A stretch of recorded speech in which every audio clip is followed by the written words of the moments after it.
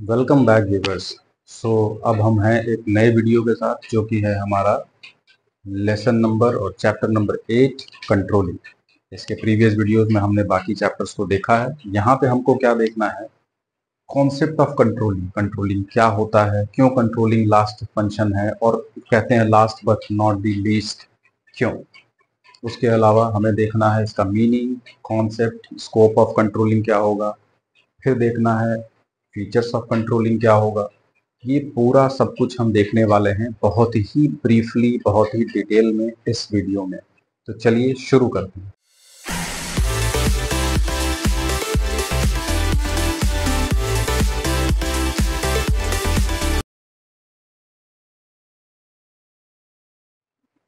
अब हम देखने वाले हैं कि कंट्रोलिंग क्या होता है।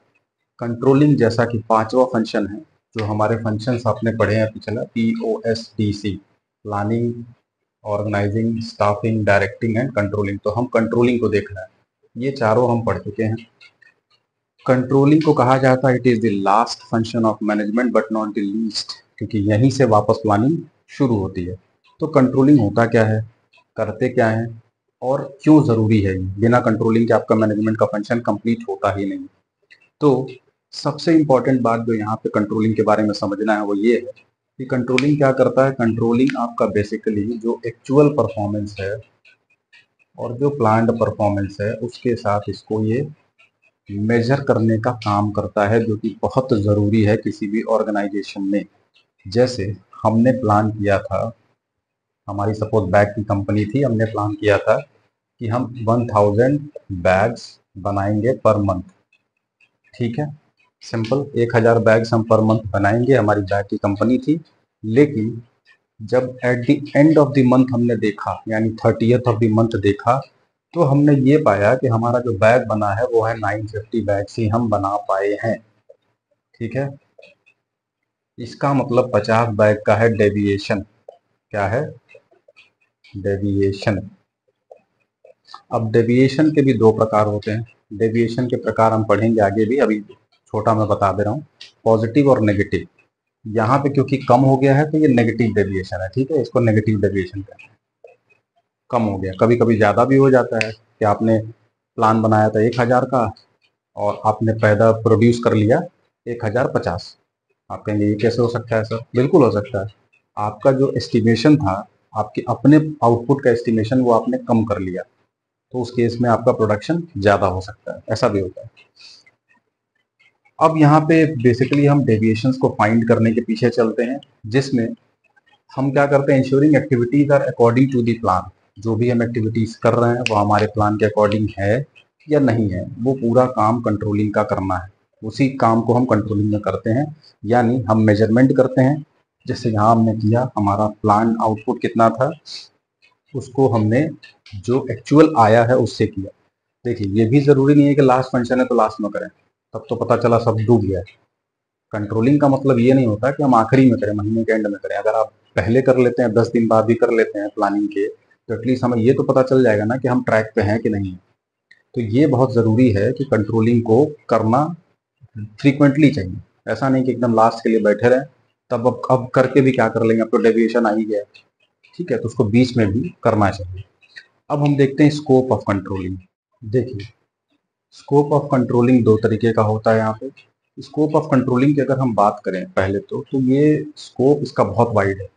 लोग समझते हैं कंट्रोलिंग का मतलब क्या हुआ? कुछ नहीं। जो एपी है, उसको पीपी से मिला देना। इसका मतलब क्या हो गया? एक्चुअल परफॉर्मेंस को प्लांट परफॉर्मेंस के साथ मैच करा देना इज़ इक्वल टू कंट्रोलिंग ऐसा नहीं केवल इतने तक ही नहीं खत्म हो जाता कंट्रोलिंग अगर हमने सपोज़ बैग वाला जो एग्ज़ाम्पल लिया है हमने एक हज़ार बैग बनाए, ठीक है? ये टारगेट था हमारा, ये एपी था पीपी था ये प्लांट परफॉर्मेंस था हमारा। 800 हमारा हुआ तो ये हमारा एपी हो गया। एक्चुअल परफॉर्मेंस आ गया आपका 200 का डी डी मतलब हो गया डेविएशन तो ये 200 का डेविएशन क्यों आया? किस वजह से आया? किन कारणों के वजह से अगर अगर वो मशीन की दिक्कत से आया है तो फिर हम मशीन को सही करें। अगर वो मैनेजर्स की इरेस्पॉन्सिबिलिटी की वजह से या वर्कर्स की इनफिशियंसी की वजह से आया है तो उनको ट्रेनिंग पे भेजिए, उनको समझाइए कि काम सही से करें। तो केवल ये पता करना कि एक्चुअल परफॉर्मेंस और प्लांट परफॉर्मेंस के बीच का डिफरेंस जो कि है डेविएशन वो आया कि नहीं आया, ये कंट्रोलिंग का स्कोप नहीं है। इसका स्कोप बहुत बड़ा है। मतलब आगे के करेक्टिव स्टेप्स भी लेना कंट्रोलिंग का ही काम है। ठीक है तो इसको थोड़ा मिसअंडरस्टूड लोग करते हैं, पर ये बहुत बड़ा स्कोप है। इसमें बेसिकली स्ट्रैटेजिक कंट्रोल होता है या ऑपरेशनल कंट्रोल होता है। स्ट्रैटेजिक में क्या करते हैं हम? ये स्ट्रैटेजिक कंट्रोल का पार्ट है, जहाँ पे हमने जो प्लान्स और पॉलिसीज़ और स्ट्रैटेजीज बनाई हैं, हम उसको रीचेक करते हैं। जो प्लान और पॉलिसी थी, वो सही थी कि नहीं?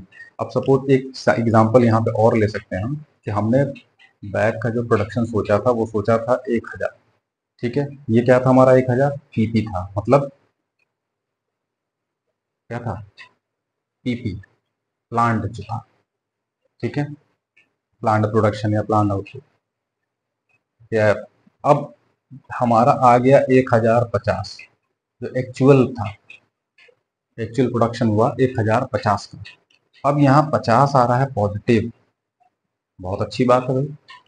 है कि नहीं? बहुत अच्छी बात है। पचास आ रहा है पॉजिटिव तो और अच्छी बात है। मतलब आपकी कंपनी बहुत अच्छा चल रही है, लेकिन नहीं।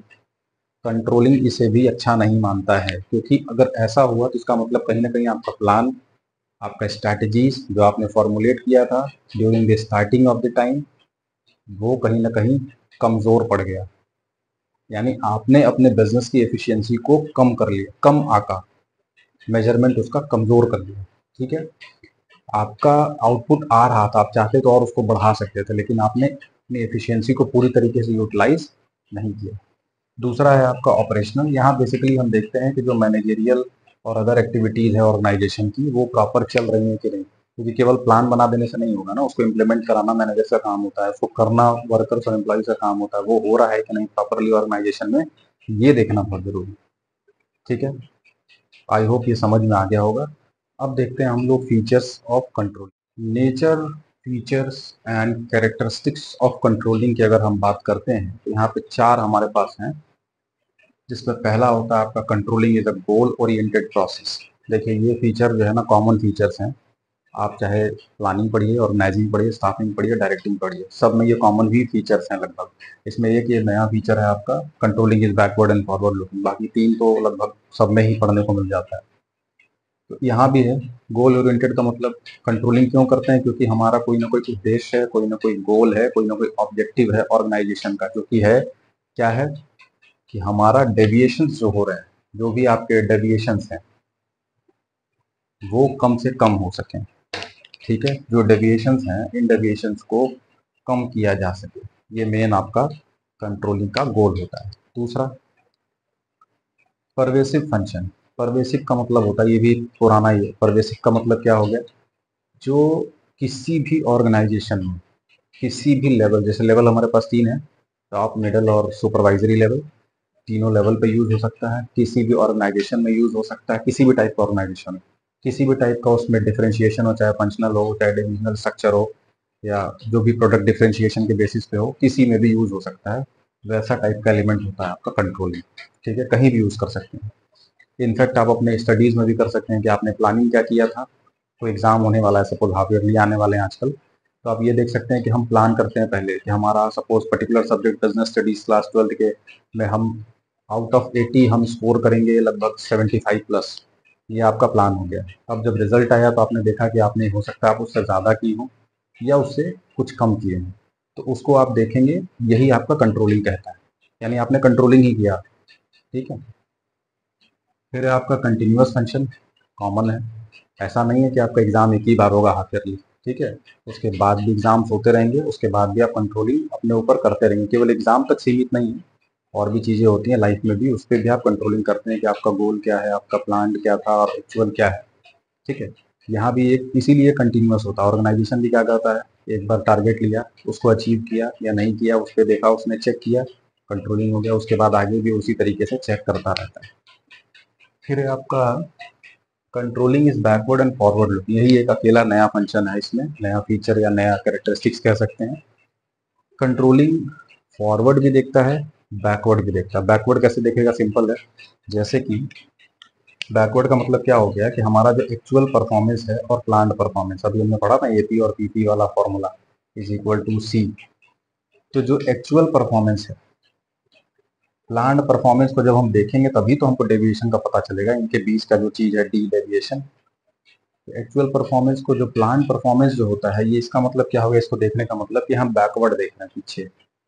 ये तो पहले बनता है ना? ये तो बाद में बनता है लास्ट में बनता है। एक्चुअल परफॉर्मेंस तो लास्ट में पता चलती है। तो आप पीछे देख रहे हैं, इसका मतलब आपने क्या किया है? बैकवर्ड लुकिंग किया है, ठीक है? फॉरवर्ड लुकिंग का मतलब अब आपने डेविएशन का पता लगा लिया। डेविएशन तो आ गया ना तो डेविएशन लेके छोड़ देंगे। नहीं ना, हम उसका स्टेप्स भी तो लेंगे करेक्टिव स्टेप्स यही है यहाँ पे। The suggesting measures is forward looking यानी हम मेजर सजेस्ट करेंगे और उसके करेक्टिव स्टेप्स लेंगे ताकि ये डेविएशन दोबारा ना आ सके। अगर पॉजिटिव भी है तो भी हम कोशिश करेंगे कि हम प्लान और हाई लेवल का बनाएँ, जिससे हमारा गोल पूरा अचीव हो पाए। कम है तो भी हम देखेंगे, ठीक है? तो ये कुछ हो गया आपके नेचर और फीचर्स ऑफ़ कंट्रोलिंग बाकी की चीज़ें हम देखेंगे अपने नेक्स्ट वीडियो में।